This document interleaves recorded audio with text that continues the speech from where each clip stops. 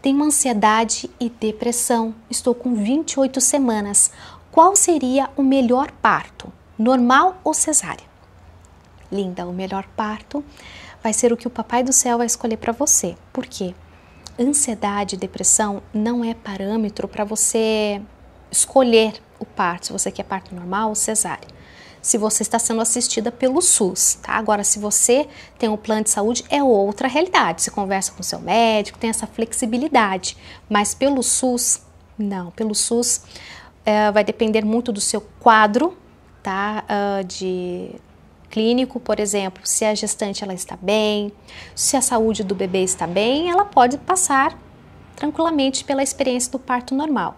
Agora, se há alguma indicação médica, uma cesárea será indicada, tá? Mas em última instância. Primeiramente, vai ser induzido o seu parto, caso não tenha é, evolução ali numa indução para o parto normal, daí sim uma cesárea será indicada.